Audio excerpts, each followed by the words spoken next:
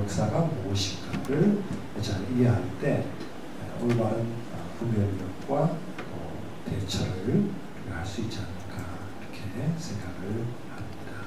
그러니까 우리가 통계도 중요하지만 너무 통계에 우리가 막 주눅들 필요도 없다. 저는 그렇게 생각해요.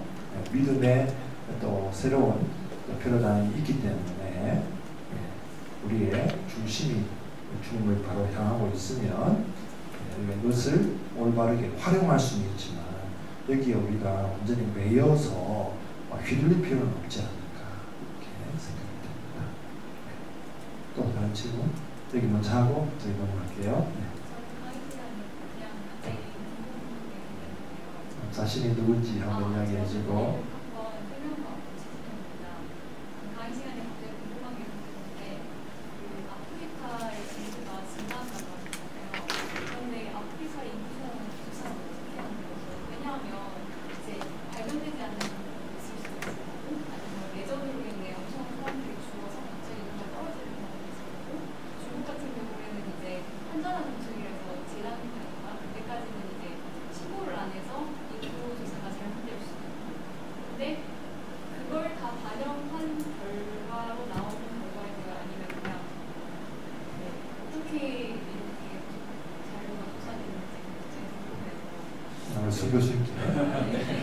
이게 어, 우리나라 같으면은 5년마다 한 번씩 인구 조사를 하지 않습니까? 그래서 인구 센서스라 그래서 전 가구를 다 방문해가지고 조사를 하는데 최근에 작년에 재작년에 조사했는 거는 모든 가구를 또 방문하면서도 또 여러 항목들을 많이 조사하기 위해서 인터넷 조사도 하고 이렇게 겸해서 조사를 했는데 아마 아프리카의 이 나라들은 이런 인구 센서스를 할 만한 그런 여력이 없는데도 많을 겁니다.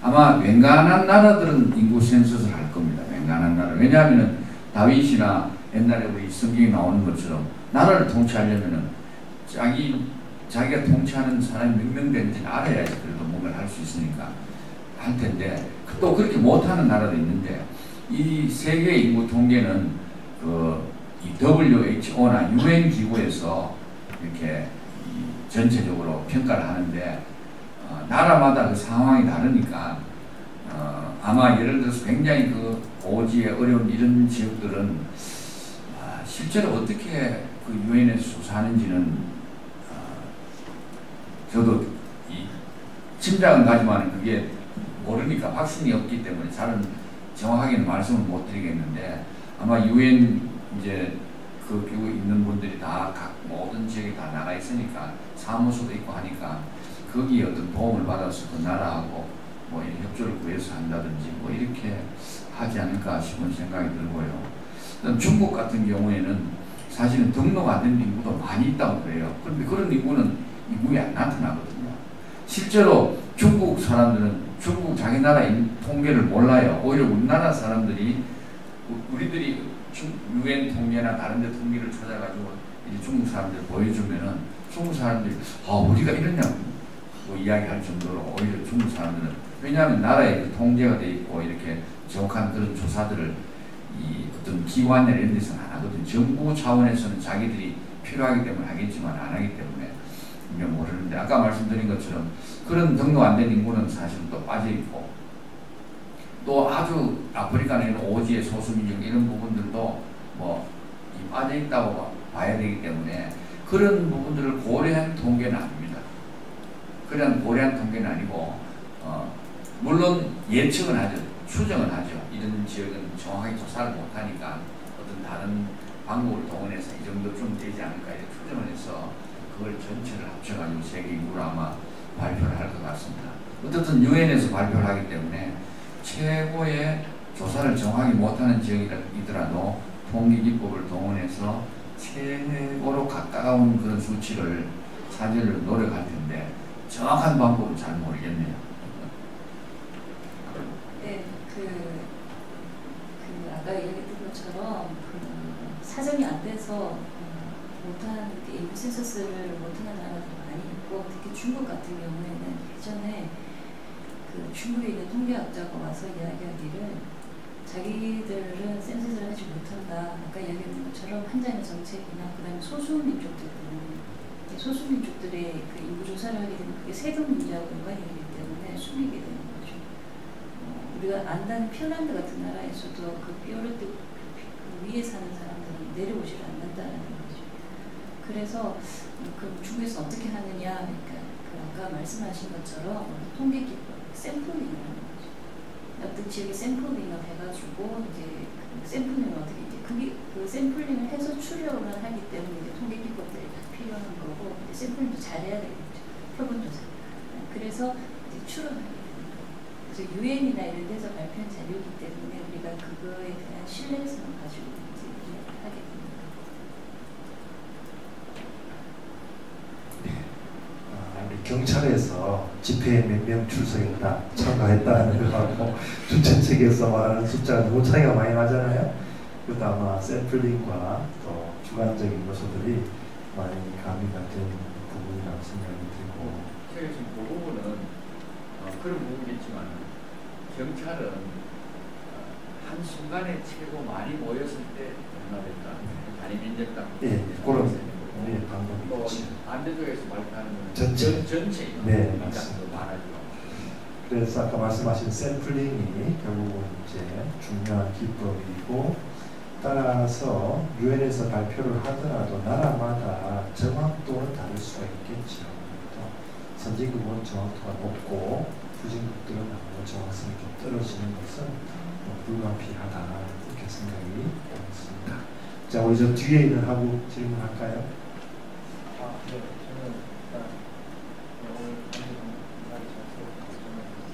기계자공학부 송민호라고 합니다. 어, 손재기 교수님께서 강의해 주실 때도 말씀해 주신 부분이 있는데 어, 저희 학생들에게 해당하는 사항이 무엇인지 궁금해서 제가 여쭤보고 싶은데 어, 그 통계학적으로 바라봤을 때, 아, 통- 제가 통계학을 전공 지금 통계적으로 바라봤을 때 무슬림이 계속해서 증가하고 기독교인의 개신교의 비율이 작아질 거라고 작아진다는 그런 얘기를 들으면서 그렇지만 그게 현재에서 어떤 요소가 바뀌면 미래도 바뀔 수 있다는 아까 그 말씀해 주셔서 굉장히 인상 깊게 들었는데 그럼 저희들에게 적용시켜봤을 때 저희가 그 변수에 해당할 수 있는 어떤 역할이나 또 기대 기대 교수님께서 저희가 기대하시는 바가 어떤 게 무엇인지 의견을 좀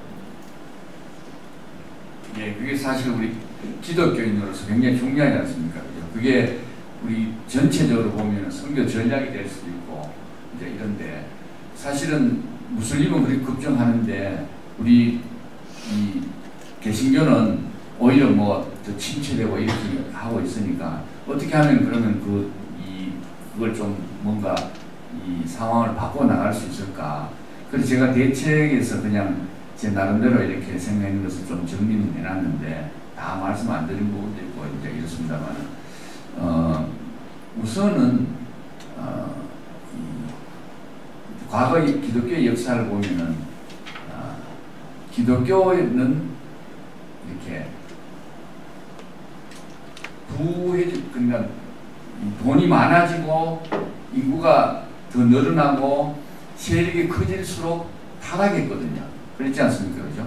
초대 교회는 굉장히 숫자도 적고 오히려 노예 신분이나 아주 어려운 계층에 있는 사람이 많았음에도 불구하고 정말 순수한 신앙을 유지했음에 바- 반해서 이제 4세기 좀 접어들면서 기독교가 국교화되고 이러면서부터 이제 교회를 자기가 진심으로 안 다녀도 예수님을 진심으로 안 믿어도 다닌다 해야지 그래도 뭔가 사회적으로 인정받고 뭐 사회 권력도 얻을 수 있고 하니까 사람들이 전부 가식적으로 되고 이러면 종교가 이제 타락이 되고 이 순수성이 이제 약화되고 이렇게 되기 때문에 정말 우리 저희 우리 학우분들이나 저 자신도 그렇고 우리 그리스도인들이 정말 더 바로 서는 게 더 중요하다 지금은. 그래야지만이 그 소수의 몇 사람으로부터 초대교회가 그 퍼져나가는 걸 생각해 보시면은 그 어려운 정말 순교당하고 자기가 그냥 말만 아니다 해도 자기가 살수 있음에도 불구하고 그냥 그대로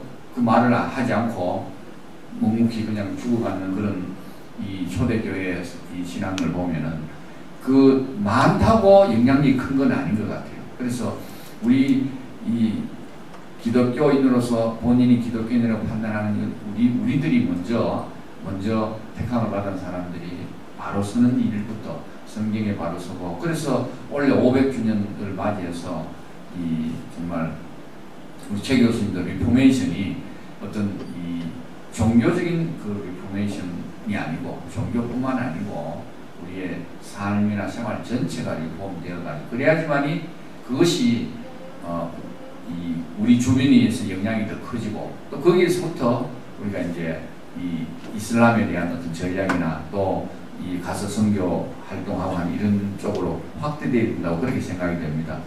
음, 막상 이제 인구가 그 늘어나는 것을 보면 어떻게 우리가 앞으로 대처해야 될 것인가 굉장히 사실은 어렵죠. 이슬람은 뭐 아까 말씀드린 것처럼 샤리아 법이 적용 안 되는 데는 완전 전쟁의 집이라고 선포한다고 그렇게 해가지고는 무조건 이 공격을 하고 이 어떤 적으로 간주하고 이래 있기 때문에 그래서 우리도 이 가야 되는 건 아까 말씀드린 것처럼 간접 선교 아예 같이 그 사람들하고 살아야 될 것 같아요. 그 사람들은 모르거든요. 정말 모르고 그냥 태어나서 보니까 자기는 그 집안 속에서 그런 법 속에서 이렇게 살지 않으면 안 되는 거로 이 그렇게 돼 있으니까 이 그 속에 들어가서 살면서 퍼뜨려 줄 사람은 누구냐?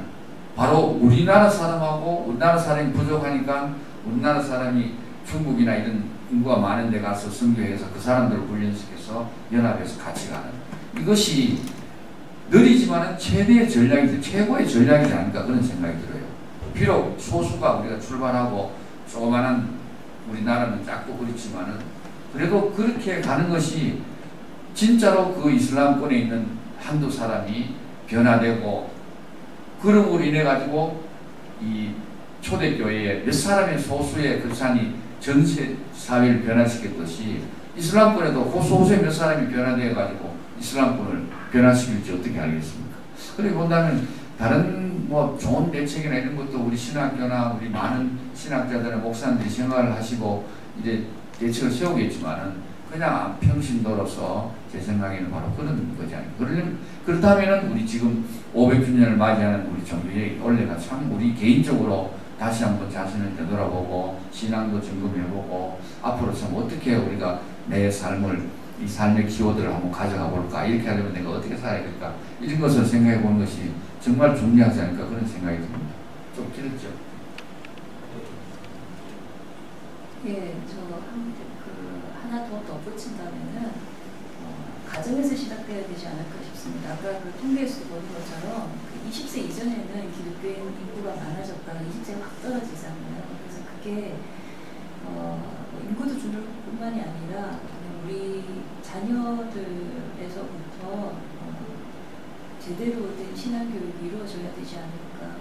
물론 그 신앙 속에서 자라는 아이들은 그뭐 신앙을 교회를 떠났다가도 또 결국에는 되돌아온다라고 하지만은 그 시간이 짧으면 좋겠고 네, 그래서 어, 가정에서 여러분들은 여러분들 부모님들이 여러분들 이 자리에 있기까지 위해서 여러분들 몰래 흘린 눈물과 기도가 때문에 이 자리에 있을 거라고 나는 믿고 또 여러분들이 어느 순간에 한 가정을 이루었을 때는 그 가정 속에서 자라나는 아이에게 정말 제대로 된 신앙 교육이 가장 우선이 되어야 되지 않을까 네, 그렇게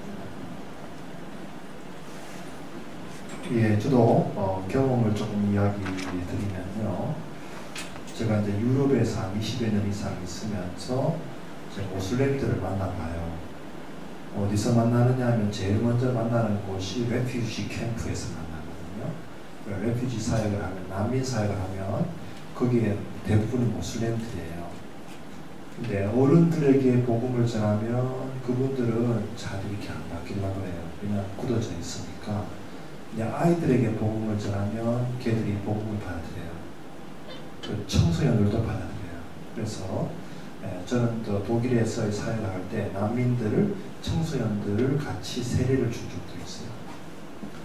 그리고 이런 SAT Seven 사역인데 이거는 이제 그 사이프러스에 본부가 있는 저 중동과 모슬렘 지역이 전문적으로 사역하는 이 선교 단체인데 이게 어떻게 하면 satellite를 통해서요. 직접 못 들어가는 지역에 satellite 왜냐하면 중동 사람들은 자기 다 하나씩 접시가 있어요. 방송 들으면 중국에 있는 저 독일에 있는 터키 사람도 다 집집마다 접시가 있어요. 터키 방송 들으면 그걸 통해서 터키어, 아랍어, 그 다음에 파르시, 이란어로 복음을 전해요. 굉장히 효과적이에요. 그 다음에 아이들은 인터넷으로 해요. 인터넷은 자기 코앞에서 바로 보잖아요. 이렇게. 걔들은 복음에 대해서 열리거든. 그러니까 가정 환경 자체는 트레디셔널한 그런 환경이지만 요즘 아이들은 다 인터넷에 되고 와이파이와 이런 온라인으로 전 세계를 이렇게 글로벌하게 볼 수 있기 때문에 이런 스트레티지가 상당히 효과적이다 하는 거 하나고요.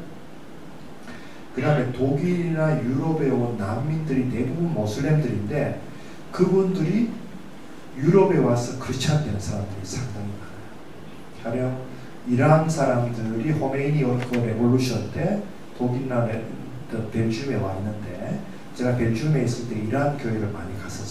그분들과 같이 이렇게 했는데 그분들이 다 그때 나온 난민들이에요. 다 크리스찬이 아니었어요. 근데 그분들이 지금 아주 좋은 크리스찬이 되고 이란 교회가 전 세계적인 네트워크가 있습니다. 그 다음에 이번에 시리아 난민들이 독일에 2015년에 100만 명이 들어왔습니다. 베를린에 있는 한 독일 교회가 목사님이 그 성삼위일체 교회 목사님인데 베를린 회화 중심되는 교회인데 그 교회가 난민 사역을 시작했거든요. 시리아 난민들이 교회에 나오기 시작했는데 독일 교인들은 별로 안 와요. 한, 한, 한 주에 100명도 안 와요. 난민들이 교회에 들어오기 시작합니다. 교회에서 잘해주니까요. 수백 명씩 난민들이 들어와서 그들이 세례받고 크리스찬이 됐어요. 그래서 오히려 지금은 시리아 난민 교인들이요. 독일 사람들보다 훨씬 더 많은 멤버가 되어버렸어요. 그래서 어떤 선교학자들은 이렇게 이야기해요. 하나님께서는 독재자도 쓰신다. 하나님의 선교를 위해서. 독재자가 있었기 때문에 그들이 흩어질 수밖에 없었는데 그들이 흩어져서 복음을 접하고 크리스찬이 되고 교회를 만들어요. 참 놀라워요. 어쩌면 하나님께서 중동의 봄이라는 그런 혁명 여러 가지 뭐 알제리라든가 뭐 튀니지아라든가 이런 사건들을 통해서 지금도 계속 난민이 유럽으로 오는데 물론 정치적으로는 매우 큰 이제 부담이긴 하지만 하나님 나라의 관점에서 보면 그들이 그들의 고정관념이나 패러다임이 깨지는 겁니다. 네, 그런 의미에서는 또 하나의 그 순교의 어, 그 가능성들이 열려지는 하나님의 역사가 아닐까 이렇게 생각을 하고 그나마 네, 독일이라는 나라가 100만 명을 받아들였기 때문에 물론 그 중에는 아주 레디칼한 테러리스트도 있을 수 있죠. 얼마든지 그런 리스크도 있지만 그럼에도 불구하고 그 앙겔라 메르크엘 수상의 리더십 그러니까 독일 사람은 그거를 엄마의 리더십이라고 해요. 무티 리더십. 그들을 품고 그 사람들에게 한 명 난민 받아들이는데 1년에 거의 6, 만 유로가 들어간다고요.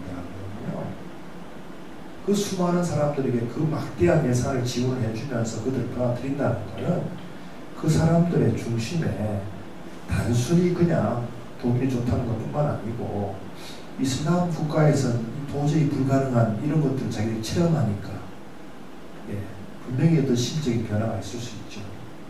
그런 의미에서 어, 우리가 좀 더 진지하게 어프로치해야 될 부분이 아닌가 생각이 듭니다. 예, 이제 거의 시간이 다 됐네요.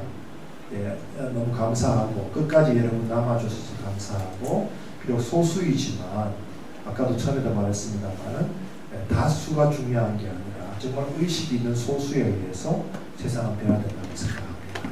그래서 어, 진심으로 감사하고 어, 우리 송 교수님께서 어, 마지막으로 기도해 주시고 오늘 모든 순서를 마치도록 하겠습니다.